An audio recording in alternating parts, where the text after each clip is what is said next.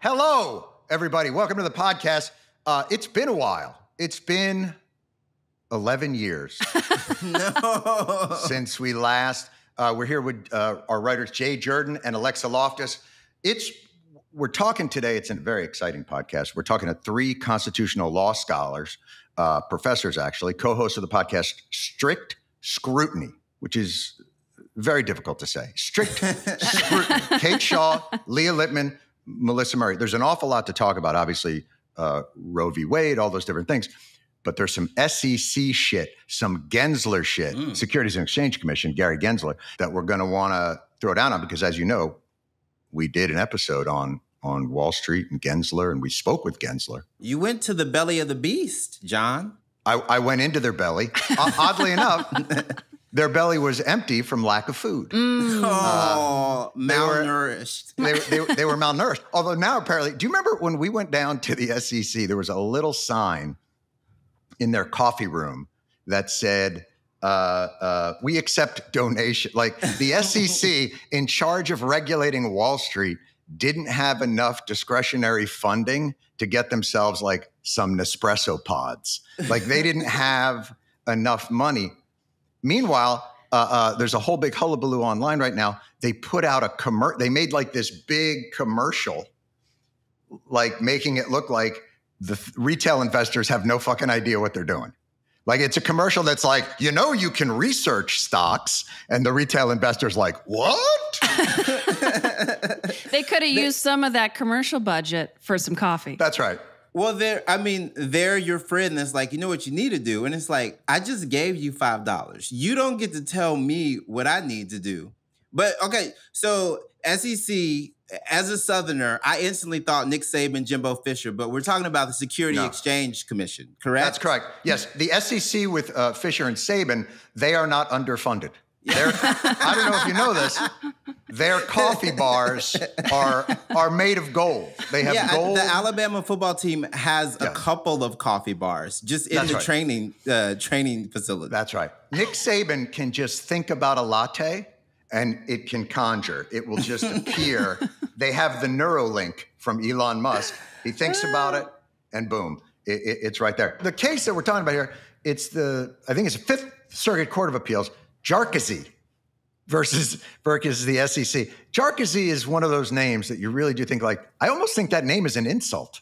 Yeah. this guy, this this motherfucker is such a Jarkesy. oh, you have no idea. language, language. Yeah, exactly. That's what I'm talking about. Uh, anyway, the Fifth Circuit of Appeals, Jarkesy versus SEC. And it found that the main way that the SEC goes after and penalizes securities fraud is unconstitutional. We saw how relatively feckless the SEC looked.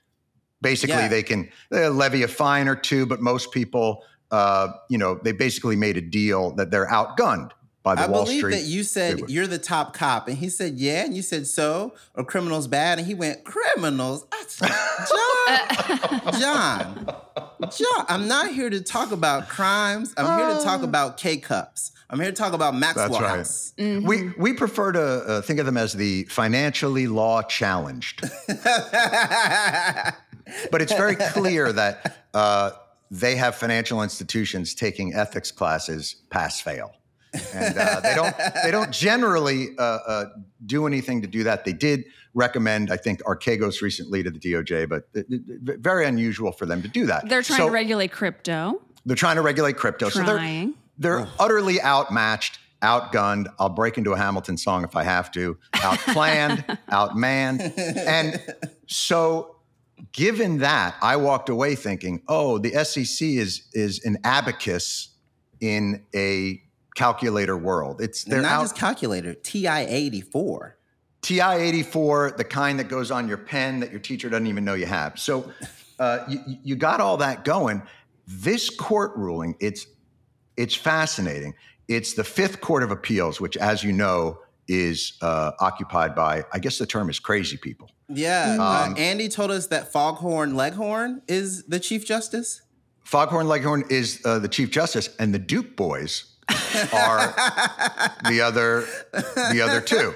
I, honestly didn't even know there was a fifth court, Fifth Circuit Court. It comes right after the fourth court. There's the fourth, and then there's the the, the fifth, and then it goes up to How, how far does it go? I don't even know. I think 11. I don't really know how many it goes. I thought you were going to sing Hallelujah. I thought this was just a brilliant way for you to get into another song bit. You were like, it goes like this the fourth, the fifth. that's what you did. I want you to know that's what I heard. that, can I tell you something? Any Leonard Cohen reference, whether it, it, it be happenstance or purposeful, is so welcome. I had a boyfriend ruin Leonard Cohen for me. How how did he do that? And this is a tan- some people would This say this is- is a tangent. this is a tangent, But this is actually important. We're gonna How?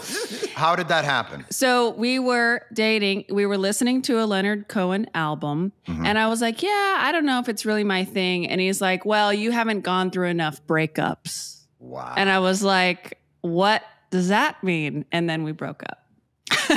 wow. Wait. Can I, can I ask you a question? Did Leonard Cohen make sense at that point? I, all of a sudden, I was like, It's genius. Alexa, no. What a That's terrible that's brutal. Man. So I don't know. have I, should say, though, revisit. I get his point a little bit in that Tom Waits had a little bit of that for me. Like there was occasions when I would break up with somebody and I would be so sad and I would just be sitting feeling sorry for myself. And I would get Tom Waits on, piano has been drinking, something like that. And I'd get a bottle of uh, my favorite uh, tequila uh, or whiskey. And I would sit alone in a room until my sadness became hilarious. Because if you're sitting alone and you have a bottle of, of, of whiskey and there's a guy uh, crooning over the thing the piano has been drinking at a certain point you're like oh this is so ah. pathetic it's it's it's funny Yes. but that is that's the tangent If we want to talk about music, we can talk about this case because there's a musical element. Jon, we've been sitting on some Shay. very fun information for you. There's a blues element to this case. I don't know if Jon knows this. a So- blues element The guy who is at the center of this case, Jarkesy, he is an amateur blues artist, and he actually He's on has a song called the Obama Blues. what I'm Bad not making Obama it up. Blues. I'm not making the bad Obama Blues. wait the guy who brought the case against the sec not allowing them or, or challenging their ability to find him or to find him uh, uh, is is a blues musician Yes, the hedge Who- fund manager is an amateur blues musician. Now, Jay, I'm going to ask you. This is just uh, an etiquette thing, protocol maybe. Uh, are white guys allowed to write blues songs about black guys? I know we're allowed to take. I know we're allowed to take the chords, and I know we're allowed to profit off them. Are we allowed to actually write them about black guys? I mean, do you writing a blues song about a black man as a white man? That is like a Christian writing the music to a musical about how much they hate Jewish people. Holy shit! What is it? So, and the song is like, uh, uh, I, "Obama sucks," like that kind I of thing. you're not I think we can off. act. We can actually listen to it. I think. I, do we have it queued up? for real? Oh, I, I think we do. I think we do. well. A man starts with nothing, Wow. but by the sweat of his brow, This is passion. builds himself a good business, Ooh. Makes his mama proud. But more and more and more, I like what he did there. government takes control. You know what I like about that? Him with regulations. Yeah, let's let's let's let's, let's No, get I out of can. that. Let's listen to the whole thing. Now, I would think that that alone would make him lose almost any court case. Yes. Yes. Play Uh, play The the song. judges- it's over. The judge is like, "What do you have to say for yourself?" A man born with nothing. okay, I don't, all right, we can we can we get this out real quick. Only the Fifth Circuit, which by the way, like if they were to put out a playlist, that would be on it. Like the Fifth Circuit is so uh, uh, out there, but but generally the idea was uh, that this guy was challenging the SEC's right to regulate, and that is why that brings us to our uh, podcast team that's here today. They're going to explain to us what the ramifications of this are, because the court found in favor of the blues man. They found in favor, what they're saying is, yeah, the SEC doesn't have the ability to charge and fine you, which basically means, and I'll ask them, I think, but it means like, so our government is actually useless. So we're they have no teeth, and we're still pulling teeth. All right. So I, here's what we're going to do. Uh, I, I've enjoyed this very much, as I always do, talking Too to you guys. much. But and so let's let's uh, guys. I'll talk to you guys later. Let's let's bring in the team uh, from the podcast is called Strict Scrutiny, and then and then we'll catch up on on what side. Are you guys going to listen? Yeah. Oh yeah, I'm gonna eat. All right. Hello, podcast Strict Scrutiny. You're Kate Shaw, Leah Litman, and Melissa Murray. That's us. We are. Hell, hell, tell, first of all, tell me uh, the podcast Strict Scrutiny. How, how did it come about? What is your area of expertise? Uh, h- how do you know each other? How did this come to be? First of all, thank you so much for having us. Um, we are three women law professors, constitutional law experts. Um, well, Melissa, what is our origin story? Well, our origin story is a little bit like the Marvel universe. Um, we came together uh, like basically gems in an Elstone that some massive titan put together because we realized that you there are weren't. talking my language, Melissa. I'm That is- trying. Like I'm the mother of a ten year old boy. This is all the Yes. language I know. then you get me. You understand me. I do, Jon. So we came together because we looked around and we realized the only people talking about the Supreme Court, for the most part, um, were a bunch of white guys, and they often didn't talk about the things that we thought were relevant for the court and that other people wanted to hear about the court. So we mm-hmm. figured that you know we all had iPhones, we can buy microphones. Why shouldn't we start talking about the court? We talk about the court for our jobs, and now we've decided to make it much more public. So this is really Leah's brainchild. So she started the podcast and she brought all of us together. And we have been dropping constitutional knowledge ever since 2019. So we're well into it at this point. Leah, let me ask you: Are you uh, at all intimidated by the amount of reading material behind Melissa? Because I find myself right now. I, I want to ask her. I, first of all, Melissa, you will be my phone a friend in any instance where I need knowledge. Well, Jon, I'm clear. a Jeopardy alumna, so I'm ready to assist Are you really? I really am, and I'm ready to help you at any any time you need a phone a friend. I- we will get back to the court case. I promise you. How was that experience? How did you? How did you? Did you? Did you do it with Alex Trebek? It was with Alex Trebek. It was when I was a teenager. I was on the teen tournament and I did not win, but um, I wore a fuchsia suit with enormous shoulder pads because it was the 90s. And I went Sure. to Tempo Casuals and I asked them for the kind of suit that a woman going to a powerful business meeting would wear. And that's what I wore on national television. Melissa, I- you couldn't have done better. As someone who worked in the stockroom at Ormonds in 1980, hmm, I know exactly what you're talking about. I listen. I was probably cleaning the carpets in the store as you were getting that suit. It was flammable. Good times. Uh, I, I think that's an ex- so. So what you're doing, the court system right now has skewed so far to the right that, and and and I love the fact that they don't consider it activist. They're just getting back to the original intent of uh, of this document, which they and only they uh, can conjure. Uh, this particular case.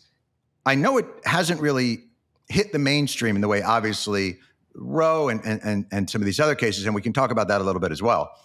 But this case seems to strike at the heart of the government's ability to regulate anything clean air, clean water, food, anything seems that that will now be in question. Like, if you put E. coli in a can of creamed beef, you're now going to have to have a jury trial for them to uh, get you to clean up your factory. No, that's exactly right. This decision found the current method that the SEC uses to enforce like basic consumer protection rules that, you know, protect people who buy stocks in publicly traded companies unconstitutional for not one, not two, but three independently crazy reasons. And I think it's worth understanding the different Yeah. reasons because all of them would really spell the demise of government as we know it today.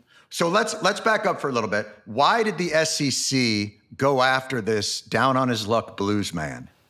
It actually wasn't because he's a bad blues musician, um, although you know that could have been an alternative theory. Um, They Uh-huh. actually found that he materially misrepresented um, his company and its financial state, um, and that caused people to invest in the company based on incorrect information. So basically, uh, he did what some of the banks during the subprime mortgage crisis did. He misrepresented the health of like a, a, financial product that he was selling or, or something like that. People bought into it. He profited from that fraudulent representation, and and the SEC brought him up on charges and found these allegations credible. Exactly. Yeah, and, and they find him, you know, not an enormous case, but, you know, a routine case of the sort the SEC brings all the time. A- And the, a a routine case of the sort that, in my mind, is exactly what's wrong with the SEC.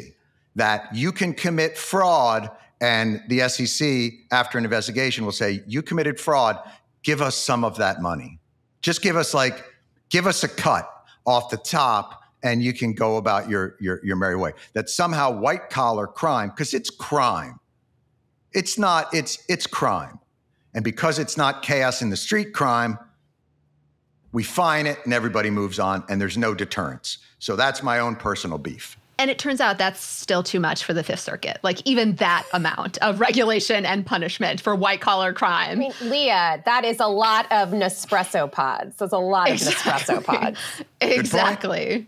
So he says he doesn't challenge the fact that he committed fraud. Is that correct? He No. challenges the fact that you're not the one who can tell me or you're not the one who can levy a fine. Everything about you is unconstitutional for a bunch of different reasons. That was the crux, crux of his argument. You, agency, are unconstitutional in Okay. you know, these three distinct ways. So you have no power to impose this fine on me. It's worth noting here that um, there has been a concerted effort among the conservative legal movement to challenge various aspects of the regulatory state. And even sort of small bore cases like this one can nonetheless be a really powerful vehicle for challenging the authority of an administrative agency charged with enormous regulatory power over corporate interests and business interests. So, yes, it is a mm-hmm. small bore case, but it's an enormous action and an enormous opportunity if you're seeking to find an appropriate vehicle to begin the process of dismantling the regulatory state. Now, to be fair, there are legitimate concerns about government overreach in regulation, about the bureaucratic state, uh, about its ability to, and, and there has to be oversight over that.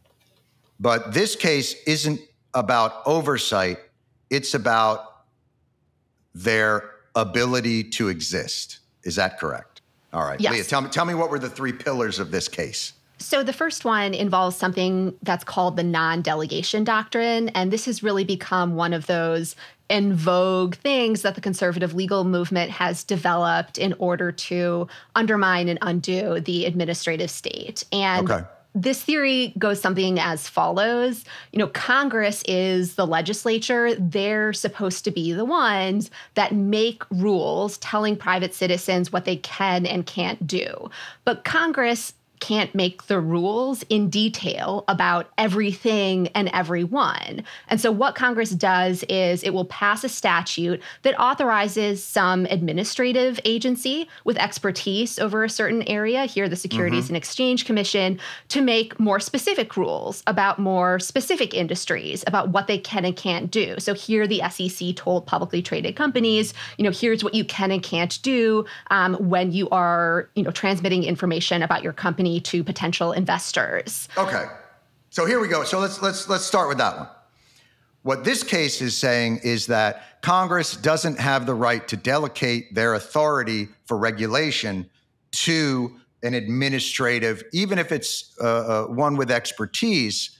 So basically, they're saying is Congress, if you want to regulate this guy's financial dealings, you've got to do it yourself. So that's, I think, generally true. Although I think even m- most courts, even the Fifth Circuit, would understand that that's actually bonkers. Like, can you imagine if we charged Congress with, you know, issuing passports to individuals, or alternatively, we asked, you know, a congressman like, you know, Marjorie Taylor Greene, for example, to do policy about environmental concerns, things like that. Like, May- there's just maybe it's worse than that. Maybe she they think Marjorie Taylor Greene has to go to the Cuyahoga River and actually get the kit and go in there and say, I think there might be dioxin in here.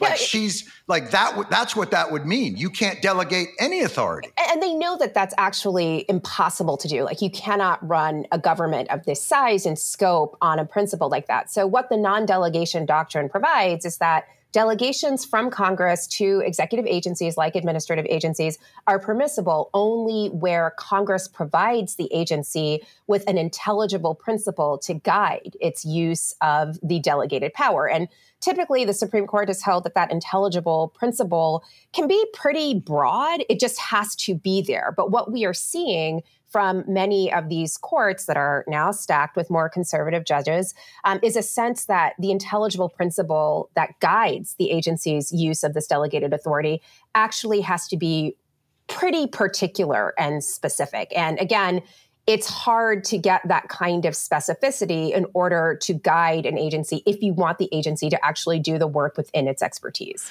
But their their their guiding principles seem relatively clear. It's for investor confidence and capital formation. All right, so that's the non-delegation clause. So the, the first thing they're saying is you are not able to delegate that in the non-specific way that you are, even to an administrative. So now you're talking about if, if the SEC can't do that, clearly the FCC can't do it.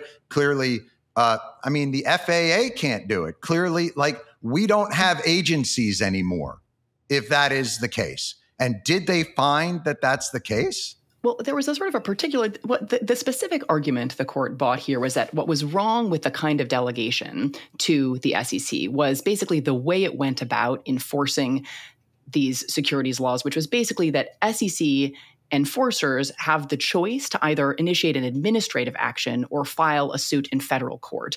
And giving administrative actors that discretion violated the non delegation doctrine. So it's a wedge. It's a very specific finding about this particular kind of authority being problematic from the perspective of the non delegation doctrine. So they don't say the whole agency is unconstitutional. We don't we don't buy your authority then to levy a penalty. You've got to decide where you can uh, where we can adjudicate this in a manner that now put that way, that doesn't sound crazy. it's the it, it has the seeds of crazy in it and that's i think part of what is dangerous about it is it sounds almost reasonable well maybe it is too much power to give an agency actor the authority to bring these enforcement actions inside the agency like that feels like an unfair home court advantage for the agency enforcer right, because there's the you know hedge fund manager Who's got oversight? Who's got oversight over that agency then? How, let, how what's the appeals process if if they bring you that 600,000 rather than uh, staking an appeal on the legitimacy of the action is is there a impartial body that will look at that and say that was decided incorrectly? So, two things. One, there's a judge inside the agency, an administrative law judge that has these structural protections, sort of in, that guarantee independence inside the agency. But if you're still unhappy with mm-hmm. what happens inside the agency, you can appeal to federal court. So, it's not as though the agency has this kind of unilateral authority to levy fines, and that's the end of the story. You can always go to federal court. So it's checks and balances. Yes. Yeah, that- that- okay, so on, on count one, I find fuck this guy. That's my finding. that is my ruling. That that ruling is final. Uh, this is clearly being done uh, as a wedge. Give me give me number two. What's number two? So number two has to do with the administrative law judge inside the agency that I just mentioned. Mm-hmm. Basically, has these protections that guarantee independence. So ALJs, as they're called, can't be removed for political reasons, right? They're supposed to be independent for the reasons that we were just alluding to, so that you know people appearing before them get a fair shake. But mm-hmm. the argument that Jarkesy made was mm-hmm. that it's a problem to have officials like administrative law judges inside administrative agencies who are not subject to kind of direct supervision by the president, that the president has needs to have under Article 2 of the Constitution and that what's called the Take Care Clause, the president needs to have the authority to unilaterally remove, if he wants to, agency officials because he's the elected head of the executive branch. They're inside the executive branch. All power has to flow back to him. He's the one the people selected. You know, wow. asterisk the electoral college, not always, but uh, that's the fiction anyway. And so it's a problem from the perspective of presidential power to have these officials insulated from direct presidential removal authority. But legislative authority is what created the agency. So isn't sure. that a balance. They're, cho- they're, elected too. Congress is elected. They created the agency. Let but, me go one step further. Yeah. If the president has the ability to unilaterally remove judges, uh, does the Fifth Circuit understand that they're judges? well, they're Article 3 judges, so they're a different kind of judges. So the president can't remove them because they're in a separate branch of government. But the argument is these guys are in the executive branch and the president gets to decide, at least at the senior level. But they're they were they were given their authority through the legislative branch. So aren't why aren't they considered in the legislative branch? They're created, all agencies are creatures of Congress. Congress makes them, but these are considered officials within the executive branch. Now, technically, the SEC is what's called an independent agency, which is in a little bit of a sort of unique posture. It's kind of, some people think of it as its own kind of you know fourth branch of government the sec the fcc the fec all these independent agencies. Right. But these are they're executive branch officials in like gary gensler right nominated by the president. So they're inside right. the executive branch. So they're saying that the what they would call the deep state has to always be partisan that it's only uh, constitutionally legal if it is staffed by the ideologues that went to regent university Yes. Uh, unless or, or uh, uh, a Democrat is in office, which obviously is not legitimate, and uh, and and and then they'll figure out something else. All right. So the two pillars we have right now is the SEC uh, doesn't have the regulatory authority to levy those things, and that the judge who levied it actually should be uh, able to be removed by the executive, but no exec, no president made the move to. It's not like somebody made the move to remove this person and this person still remains. So, so that action was never taken. They're just saying you have to change who can hire and fire him, but it doesn't change the outcome. All right, what's number three? Number three is that the SEC actually can't hear these cases. That is, it can't be an administrative law judge of the kind that Kate is describing that decides whether to impose a fine or not. Instead, those cases have to be heard by a jury in federal court. Get the fuck out of here. They're saying that every administrative case of fining has to be heard by a jury. Well, they have to be heard by a jury. Otherwise, it violates the Seventh Amendment right to a jury trial. Due process. Right. Where they stem from sort of common law, common law claims that would ordinarily be heard by a civil jury. So in this particular I, case, the Fifth Circuit said that because the underlying claims sort of sounded in the register of common law fraud claims, they assessed that they were levying civil penalties. Civil penalties are the kinds of things that would flow from a civil jury trial, not from an administrative hearing by an ALJ. So let me tell you something. Where it is. Be careful what you wish for. This case, do you, do they have any idea the hornet's nest that they're opening up here? Do they really believe that a jury that hears the case about defrauding investors is going to be as lenient as an administrative state that is overwhelmed and is just trying to pass shit through. Like, do they have any idea what they're about to get into? If you brought this to a jury trial, it wouldn't even be a civil case, it would be a criminal case about fraud, and that dude would go to jail. Well, I think the problem is is that you know, you mentioned administrative agencies are overburdened. So too are federal courts and juries. You know, in some places you file a case in federal court, right. it's not going to be heard at the earliest for like a year and a half later. Sometimes the right. trial process might take years. And so it can be really expensive, you know, and burdensome to try to make all of these cases into jury trial cases. So let me ask you this. In your mind, is the motivation here a constitutional principle. Is it one thing I've noticed about the conservative movement that's really brilliant is if they can't make what they want illegal, they'll make it impossible. So, in other words, like uh, when you talk about forcing women to carry babies, even though that may kill them, uh, they can't make it illegal because the majority of people would support it. As, as a legislative process, it'd be very difficult to criminalize it, right? So, what they do is they put in regulations that say, okay, if you run an abortion clinic, you've got to have two anesthesiologists and your hallway has to be 50 feet wide. Now, they've just undermined their ability to regulate that by bringing these court cases. That's besides the point. But second of all, what it sounds like they're doing is they want to make the government's ability to regulate anything not illegal, because most people would support clean water and air and healthy food. They want to make it impossible. I think that's totally right. That's true of both the non delegation argument. If you require yeah. Congress to write all of these specific rules, they're not going to be able to do so. And you've just made it prohibitively pr- difficult for Congress or anyone to actually regulate these industries. And it's also true of this civil jury trial argument. You know, you're not saying it's necessarily illegal, you're just saying these cases have to be heard before juries, but that would overwhelm the federal courts and just be practically impossible to actually bring all of these cases. We'd all be jurors. That's all we would do. None of us would have jobs.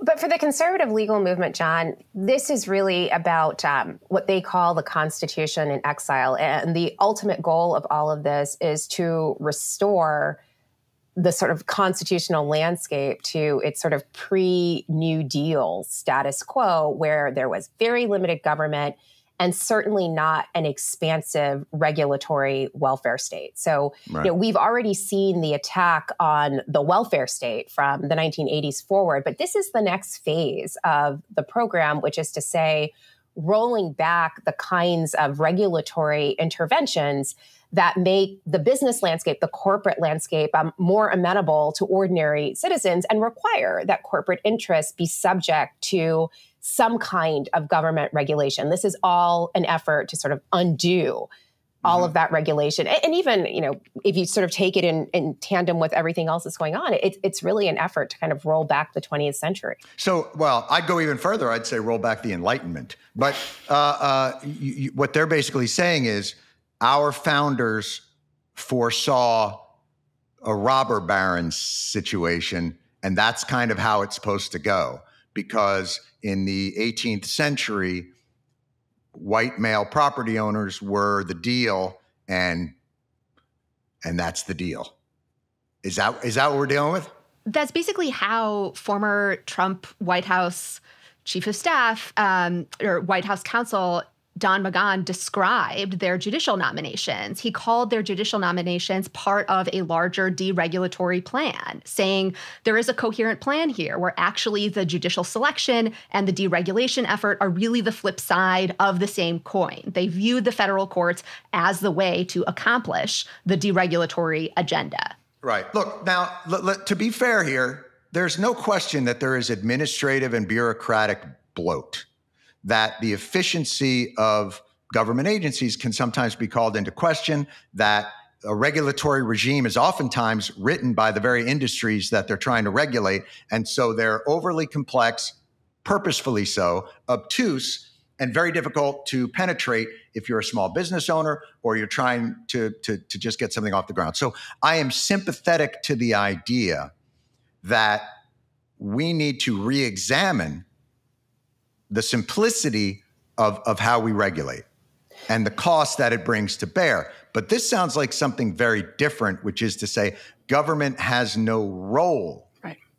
Yeah, that's not the spirit of this yeah. lawsuit or its lawsuits of this ilk, right? Is like actually acknowledging inefficiencies and redundancies and working to improve governance and governmental capacity. It's literally just to burn the whole thing down, right? The SEC has been around since 1933, right? It's a response to the stock market crash and the Great Depression, the idea that this totally unregulated market just. What would they say the role of the SEC should be?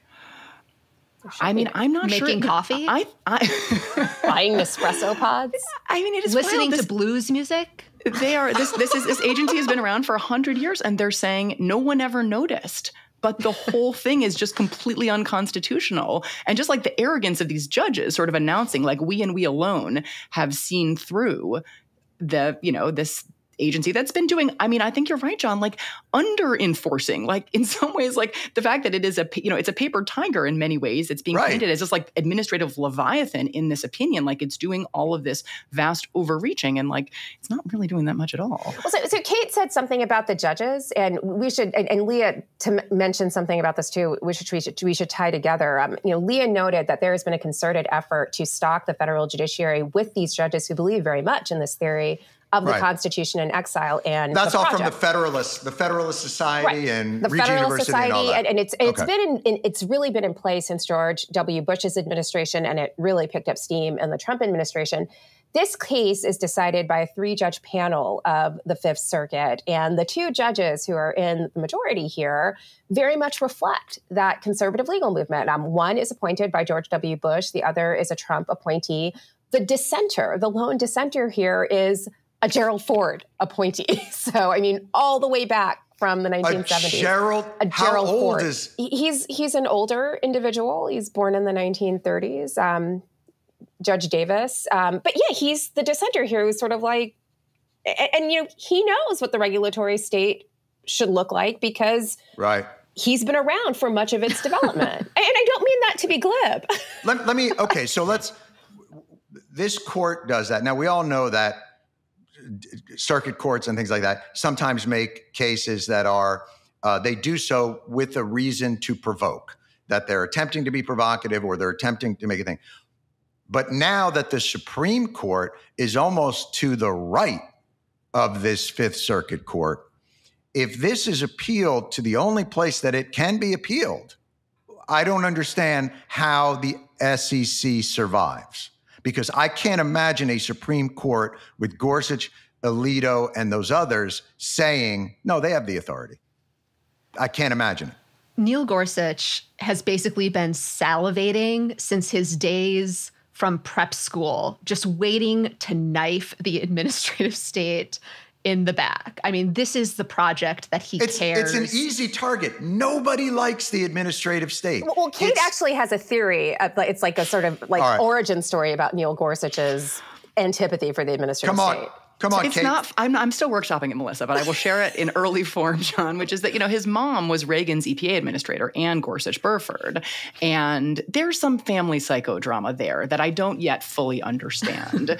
but she left after being the first cabinet secretary to be held in contempt of Congress because of a refusal to turn Oh, over some no. documents to the House Judiciary Committee. These were the events that led to another big important Supreme Court case, Morrison versus Olson. oh, sure. Morrison versus Olson is a that's a big one. you know, you know, we'll talk about it next time.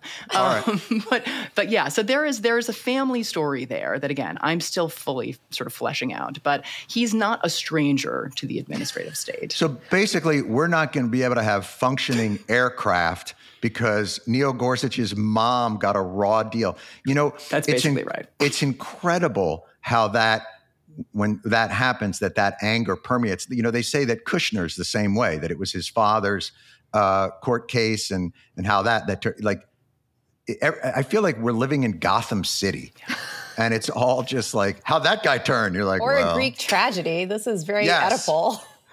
So if this goes on, what are the ramifications of it? If the Supreme Court takes the case or it's appealed or if they just let it drop, what are the ramifications of it? And and and how can it be countered? And who would even counter it? So it, it's an open question whether the SEC will seek a further appeal on this case. I mean, you know, recognizing that the court itself might be amenable to exactly what the Fifth Circuit has done. So, you know, there, there are a couple of possibilities here. Um, if the SEC seeks re- a, a review of this, um, there could be a review by the en banc. Fifth Circuit, which is to say all of the judges of that court would get together and they would hear the case and make a decision all together as opposed to this three judge panel.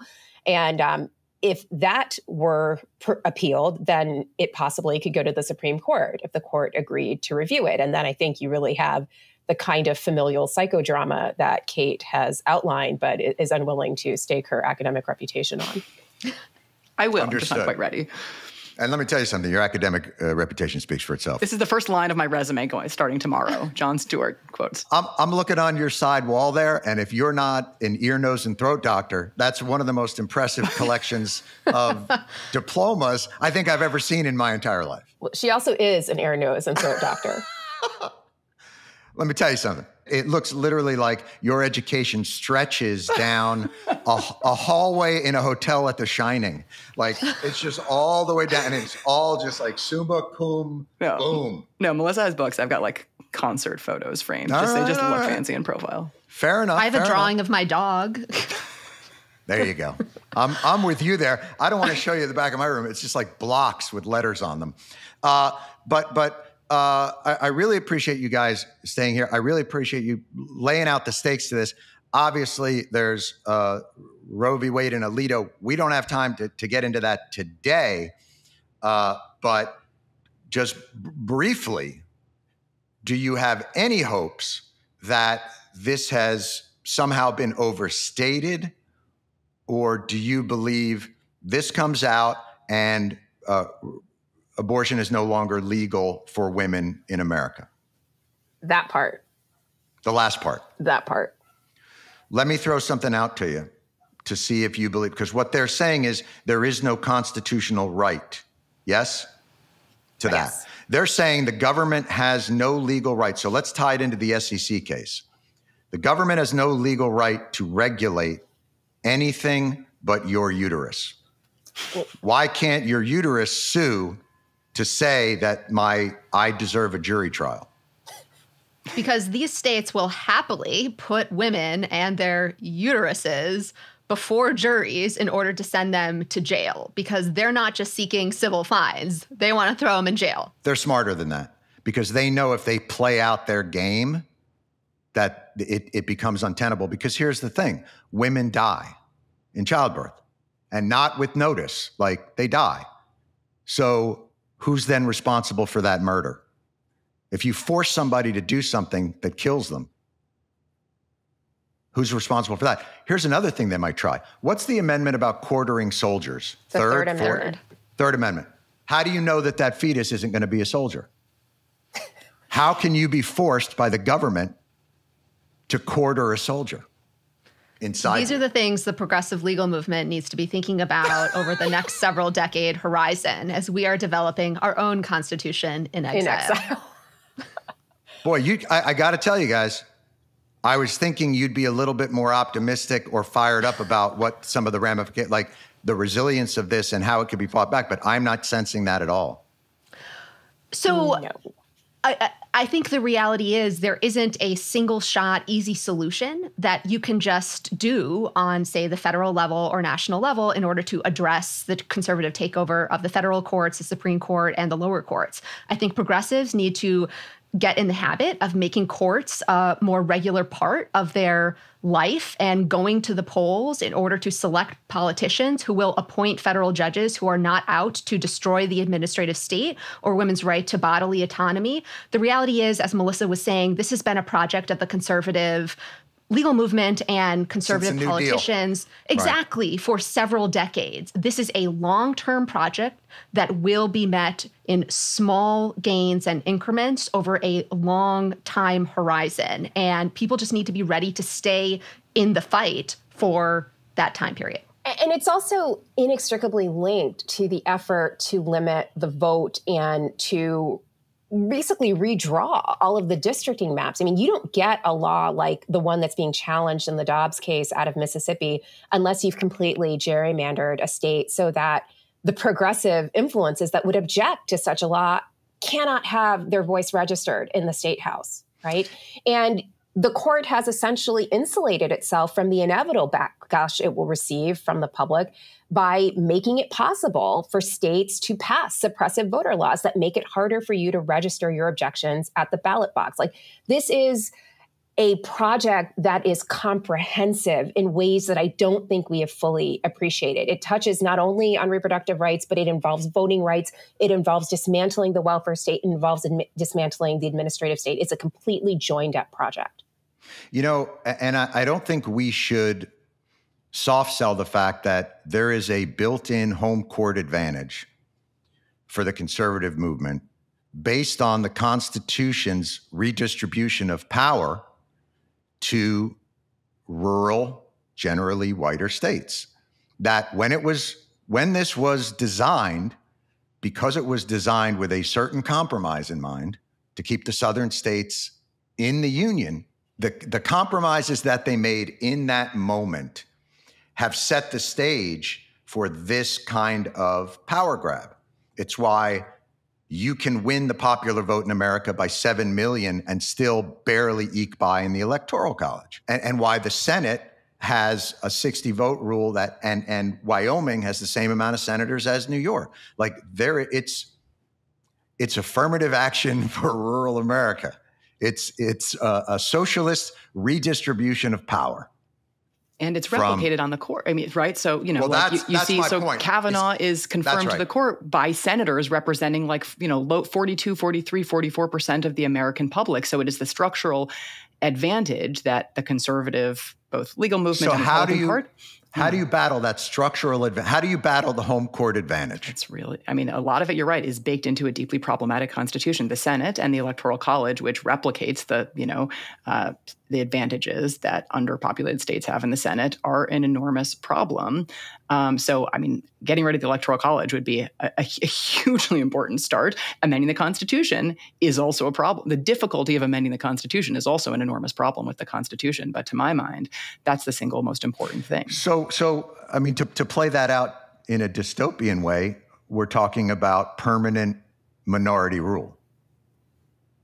I, I mean, I, I'm more, yeah, I, I'm more, I tend to be more upbeat, but I think that there is, it is an uphill battle to overcome the structural disadvantages that the Democratic Party and progressives uh, just have to bear as a result of the design of our Constitution. I don't think they're insurmountable, but I think it is going to be a tough fight. I think it's just helpful to know that you are working against things. There are things you can do at state and local level, right? Like trying to amend state constitutions in order to bar partisan gerrymandering or in order to have independent commissions draw district lines rather But they're they're going the up they're going the opposite way though. They're what they're basically saying is now these partisan legislatures have the ability to go in and just say, yeah, that vote's wrong, so we're not going to abide by it. We're just going to throw it out, do something else. Yes, that is again maybe a topic for a future episode. Is all of the ways Yes! the Supreme Court seems! Come on. seems likely to overthrow basic uh, artifices of democracy. Um, but at least for the time being, you know, there are goals that you can try to shoot for at the state and local level in order to make elections more representative and in order to make, you know, exercising political power by the people who win the popular vote uh, possible. Right. Okay. Well, listen, that's uh, uh, at least you're you're laying out kind of a, a game plan, which I think is is really smart. Um, I will count on the three of you to save us, Hmm? Oh, yikes. please. Strict scrutiny, save us. Hey, hey! Uh, b- before the guests go away, let's have Jay and Alexa come back. Just make sure if Jay Jurden or Alexa Loftus has anything they'd like to add in. Jay and Alexa, uh, takeaways, thoughts. Uh, When Kate said that she tends to be a bit more optimistic, I laughed very loudly because I was like, oh, everything got super bleak. Also, since we're just spitballing new legal procedures, Jon, I love your new ideas, but what what if this? What Yeah. if we Yeah. got Margaret Atwood to sue the Supreme Court for IP infringement because they're stealing all their ideas from Handmaid's Tale? Boom. Yes. We got we got to really think about how we get into this, okay? Mm-hmm. I, I like the no quartering of soldiers. Mm-hmm. Yes, like, that's uh, great. Really good. Uh, I like I like your idea there. Just out of curiosity, this is a real question. How can they make a decision like that when it, to me, clearly violates equal protection? When you regulate something that women have, I like forget about right to privacy. How is this not an equal protection issue? Melissa has Jon, a beautiful brief in the because Supreme Melissa Court submitted a that brief made this on this, argument yeah. that Alito cited to just say like, oh, don't worry about that, but didn't actually respond. Come to it. on, But- come on, Melissa, talk to me. I mean, I I think you're exactly right. Um, I, I I think abortion restrictions are a species of pregnancy discrimination, which is a species of sex based discrimination that violates the Equal Protection Clause. And unfortunately, I, there are not five people on the Supreme Court who would agree with me. And Justice Alito, in that leaked draft opinion, kind of laid waste to the equal protection clause. Like there's nothing to see here and, you know, kept it moving. So, yeah, I, I mean, I think every woman in America should be asking why this isn't an equal protection problem, given who gets pregnant and who has principal responsibility for childbearing as both a social matter and, in many cases, um, often a legal matter. Uh, if this goes through, if I need a kidney, will I be able to force a person to give me their kidney? Because no, because you're a Democrat. and, and obviously so. That's the problem. If you could hide uh, it more. If if if everyone else who lives in my town needed a kidney, because I see the flags. Uh, if everyone else in my town needed a kidney, and and my kidney was a match, why is my bodily autonomy in any way different than a woman's bodily autonomy when it is a matter of life and death? Well, I think you should really be channeling Justice Amy Coney Barrett and instead of asking about kidneys, ask about vaccines because that is an area where um, apparently we are already willing to deviate from concerns about bodily autonomy, according to Justice Barrett. Um, and abortion should also be one of those places where we can impose our will on others. It's it's this is this is wild stuff. I I, I can't thank you enough for being here. Uh, the podcast is called Strict Scrutiny. It's not easy to say. I'm going to have a call with your marketing people. That would be uh, us. I th- I think I think your podcast d- deserves uh, a name that can be said by those with less adept linguistic skills. Strict scrutiny. that was good fast. Yeah, tune in tune into the podcast Red Leather, Yellow Leather. Only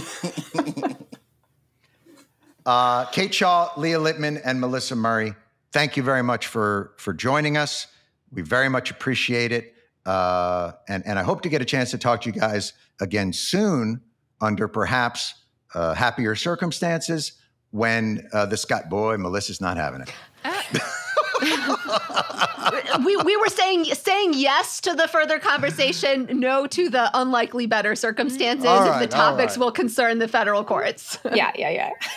Thank you so much for for articulating all this for us and and giving us a much clearer picture of what's at stake and some of the things that we can do to remedy it. And we, we really do appreciate you guys being here. Thanks for having us. Thank, Thank you. you so much. All right. Take care, guys.